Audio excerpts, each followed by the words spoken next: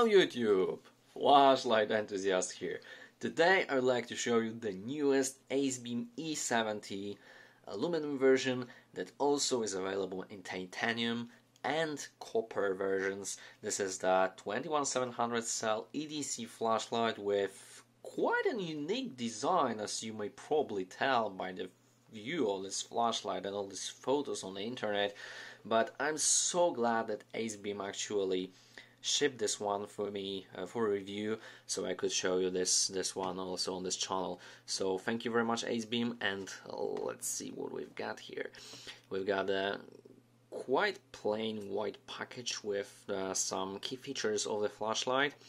Uh, we've got the specs here so obviously I chose the 5000k version but as you can see cool white is also available which is standard for for AceBeam very nice that they offer also neutral white here uh, we can order additional battery because uh, standard version does not come. Uh, with the battery you can uh, obviously use your own one. Both protected and unprotected cells fit. The flashlight works perfectly fine so I'm very glad that they did this the, in the design section.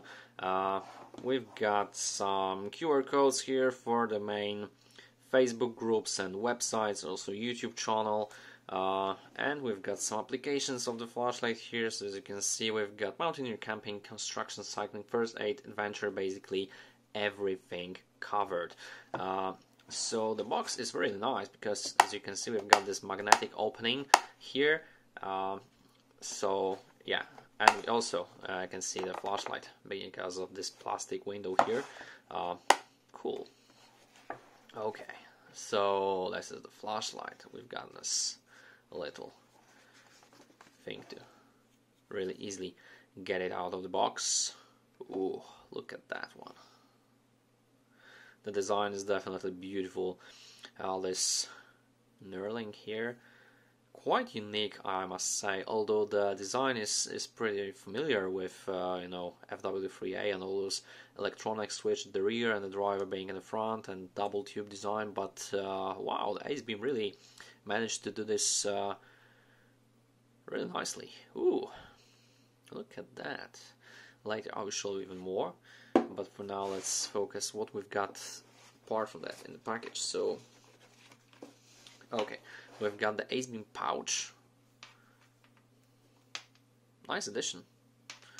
Ooh, looks really good. Okay. Apart from that, we also got a lanyard, AceBeam obviously logo, we've got this adjustable wristband okay? Uh, double o-ring replacement which is always good. Apart from that some warranty card uh, yeah lithium battery warning uh, warranty card and obviously manual. Manual is in English and in Chinese. And voila this is all alright so if you order the kit version with the battery. Obviously you will have to remove the plastic foil before you can operate the flashlight but in this case it is actually ready to use. I also found this little note from AceBeam uh, this is always a nice touch uh, definitely showing that they care for the customer and their experience. Good. Alright so returning to the AceBeam E70 flashlight. As you can see the design is quite unique Ah, I forgot. Please remember to remove this one because without it the beam pattern will be, well, quite strange. Okie dokie. So look at this. This is aluminum version. Obviously you can get also titanium in uh, two different variants and the copper one. This is the lightest and uh, will transfer the heat probably the best. Uh, obviously copper can do it even better but you risk your hands to be hurt because of the heat transfer. Alright so as you can see we've got uh, AceBeam web address here uh, some learning here hot warning here on the head and apart from that some serial number C and don't throw me away sign. The clip is very nice quite sturdy Although I know that some users complain that on titanium and copper versions they are so-called limited, so the clip looks even better. But I like, I really like this one. I have nothing against, and as you can see, you can change the position uh, here and rotating even further we've got the lanyard attachment here and actually the when the flashlight came out of the box the lanyard was attached I just uh, unattached it because I don't like the lanyard but uh, it will be attached from the factory. Okay so we've got the electronic switch. Obviously the flashlight does not work because I didn't insert the battery but uh, it will work soon. We've got anti-reflective coating XHP 70.2 LED assuring that the flashlight will actually achieve the 4600 lumens and around 240 meters of beam distance and uh, this is pretty pretty close to reality so I don't suspect AceBeam to be giving false numbers. Okay so the flashlight can be disassembled only in the head section so you unscrew it right here. As you can see the threads are highest quality well greased the o-ring is also wet. So yeah very good. I get the impression that the threads could be a little bit longer but uh, that's okay.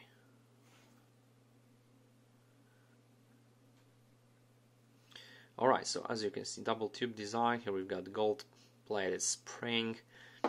So let's insert the standard Samsung 50E battery. As you can see it is flat top unprotected.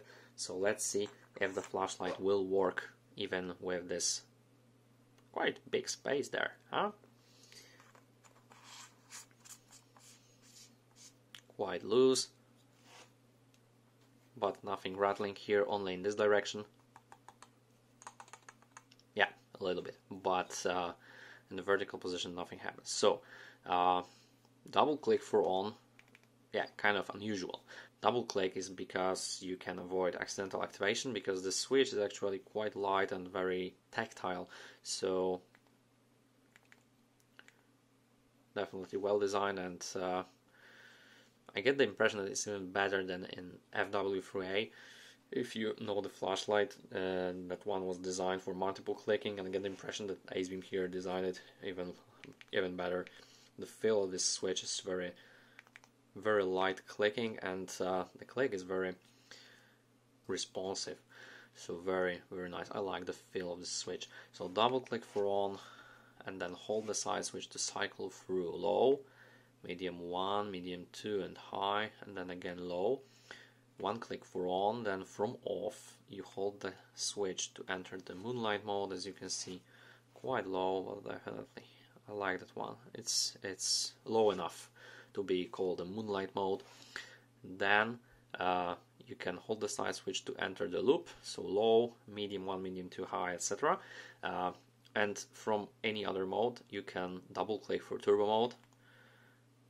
It is gradual increase in brightness, so I like that one.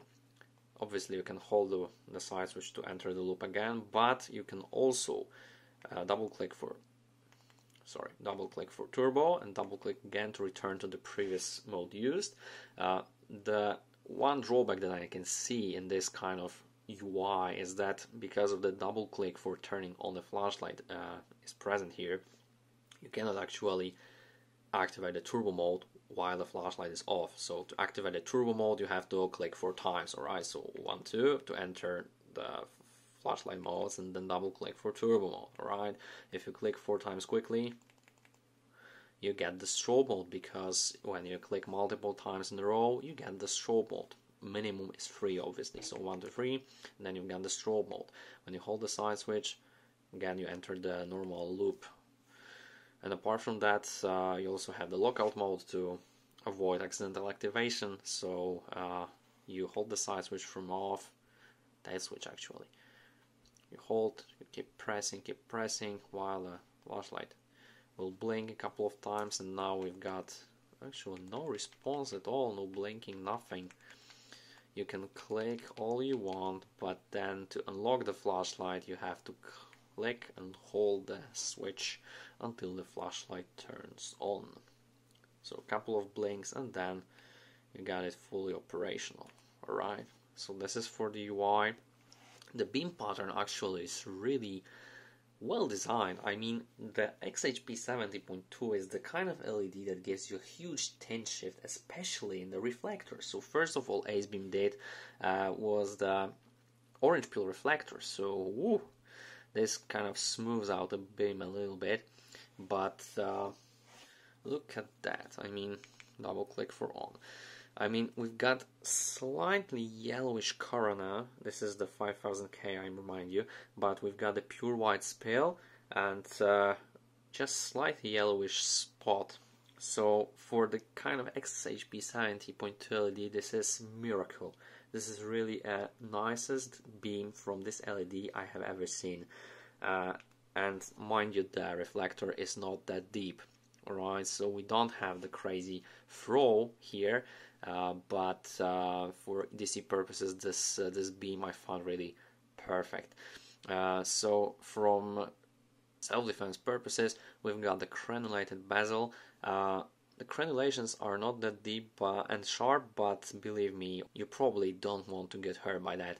Uh, so, yeah, apart from that, guys, uh, I mean, the kind of drawback I see here definitely is uh, because of this design of this grooves and uh, soft edges. When you get this flashlight into sand, uh, it might be really horrible to get it cleaned because of this uh, design, the, the, the sand would probably go everywhere. In case you ordered one with uh, the battery included, uh, I have to admit that the charging is a little bit slow, around 1 amp as you can see right now on the screen. Uh, so it took me around 5 hours to fully charge the 21700 battery provided by the AceBeam. But on the other hand, it is definitely a safe rate, so don't worry about it. Improved. But apart from that, the, the flashlight is perfect. Right, I really like it. Looking at the runtime graphs here, as you can see we've got the turbo mode, obviously uh, the flashlight steps down because of the size, uh, but after 35 seconds I measured around 42 degrees Celsius and the flashlight started to gradually step down to around 1350 lumens and it held this level for around 1 hour and 45 minutes then it steps down so everything perfectly in line with what AceBeam advertises. Even the, the runtime is even a little bit longer than advertised, one and a half hours in turbo mode. But as you can see, the flashlight steps down after around 35 seconds and then after one minute it is already in the lower mode. Looking at the high runtime graph, uh, I have no questions here. I mean, the, the st stabilization is perfectly flat. The, the AceBeam drivers are legendary here. So everything as, as expected from the AceBeam uh, EDC flashlight. So as you can see, we've got uh, around two hours of runtime, which is again a little bit more than they advertise on the, on the website. Uh, one hour and 45 minutes, I believe. Uh, so very nice. Uh, and here the, the heat was even a little bit uh, more, but uh, the flashlight did not exceed 60 degrees. Uh, and as you may probably uh, read in the manual, the 65 degrees Celsius is the kind of threshold that the flashlight will step down by this temperature. So yeah, still perfectly fine.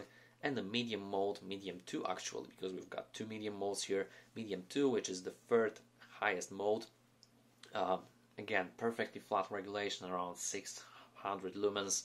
Uh, 42 degrees maximum measured, so nothing crazy here.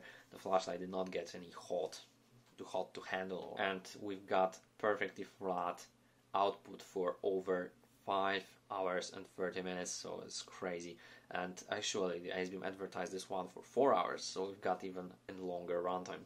Okay guys, uh, size-wise, this flashlight is pretty standard. As you know, this is 21700 cell so flashlight, so I brought this Sofirn SP35 as you can see sidewise these are pretty similar. You can check the review right in the top uh, top right corner. Alright so a little bit bigger. Uh, I have also another 21700 cell which is the Fireflies E07 May probably know this one. You can also check the review right in the top right corner. Okay, so let's go to the forest and show you some beam shots. AceBeam E70 aluminum version. This is low, medium 1, medium 2, high. and turbo.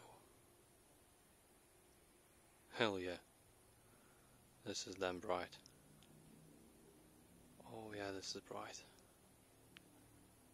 Once again low, medium 1, medium 2, high, and turbo. Look at this. Light is everywhere. Quite floody I'm afraid, but this is good. I like it that way. AceBeam E70 Turbo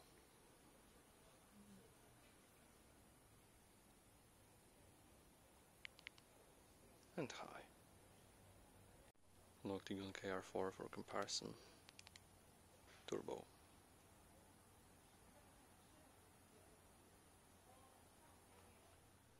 Summing up, well, what can I say, guys? I mean, this this flashlight is also perfect EDC uh, choice for many of you. Uh, as I saw on the Facebook groups, uh, you already use this one, and uh, I can probably tell that you're satisfied, just like me. I mean, this flashlight is nearly perfect.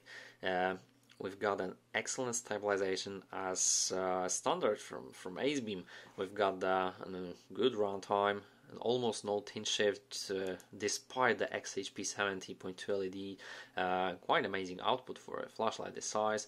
Uh, obviously the looks of these flashlights are quite unique on the market and I really like this one.